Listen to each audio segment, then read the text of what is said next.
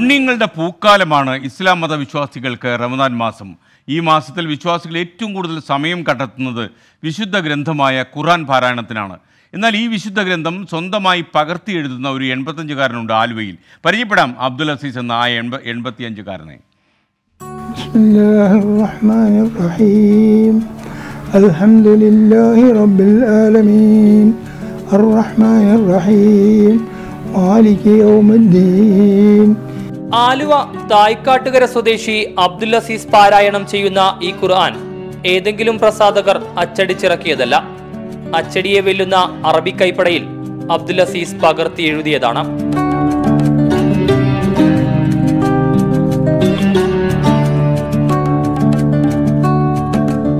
രണ്ടായിരത്തി നാലിലാണ് അബ്ദുൽ അസീസ് ഖുർആൻ പകർത്തി എഴുതുന്നതിനുള്ള ഒരുക്കങ്ങൾ തുടങ്ങിയത്. അതിനുവേണ്ടി പ്രത്യേക കടലാസും പേനയും സംഘടിപ്പിച്ചു. പിന്നീട് അങ്ങോട്ടുള്ള ഓരോ ദിവസങ്ങളിലും പുലർച്ചെ സുബഹി നമസ്കാരം കഴിഞ്ഞുള്ള ഒരു മണിക്കൂർ ഖുർആൻ പകർത്തുന്നതിന് മാറ്റിവെച്ചു. ഒരു വർഷത്തോളം എടുത്താണ് ഓരോ ഖുർആാനും എഴുതി പൂർത്തിയാക്കുന്നത്. നാല് മണിക്കൂർ നമസ്കാരമുണ്ട്. നമസ്കാരം. അത് കഴിഞ്ഞ പിന്നെ ബാങ്ക് കൊടുക്കുള്ള സമയം വീണ്ടും ഉറങ്ങാൻ കിടന്ന സുബഹി ഇത് കിട്ടില്ല. അപ്പോൾ അത് കാരണം ആ ഒരു മണിക്കൂർ എങ്ങനെ ചെലവഴിക്കുന്നത് ആലോചിച്ച് കഴിഞ്ഞപ്പോൾ അത് ഇതിനുവേണ്ടി ഉപയോഗിക്കാൻ തുടങ്ങിയത് ആകെ ഇപ്പോൾ ഏഴെണ്ണം എഴുതി എട്ടാമത്തെ ഇത് എട്ടാമത്തേനെ എട്ടാമത്തെ എഴുതിക്കൊണ്ടിരിക്കുന്നത്. അപ്പോൾ സമയം എടുക്കുന്നത് നമ്മൾ ചില ദിവസങ്ങളിൽ ഒരു പേജ് എഴുതുള്ളൂ. ചില ദിവസങ്ങളിൽ ഒന്നിൽ കൂടുതൽ എഴുതും.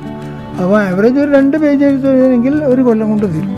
നാൽപ്പത്തിയഞ്ച് സെന്റിമീറ്റർ നീളവും മുപ്പത് സെന്റിമീറ്റർ വീതിയുമുള്ള ഖുർആനാണ് കൂട്ടത്തിൽ ഏറ്റവും വലുത്. ചെറുതിന് ഒൻപതിഞ്ച് നീളവും നാലര ഇഞ്ച് വീതിയുമുണ്ട്.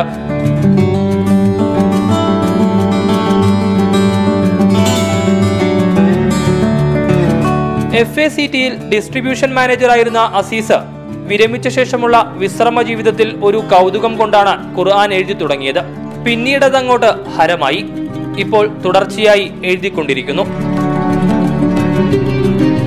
ഇസ്ലാം മത വിശ്വാസികളുടെ വിശുദ്ധ ഗ്രന്ഥമായ ഖുർആൻ പകർത്തി എഴുതുന്ന തിരക്കിലാണ് എൺപത്തിയഞ്ചുകാരനായ അസീസ്ക ഒന്നും രണ്ടും തവണയല്ല ഏഴ് തവണയാണ് അച്ചടിയെ പോലും വെല്ലുന്ന തരത്തിൽ അസീസ്ക ഈ വിശുദ്ധ ഗ്രന്ഥം പകർത്തിയെഴുതിയത്.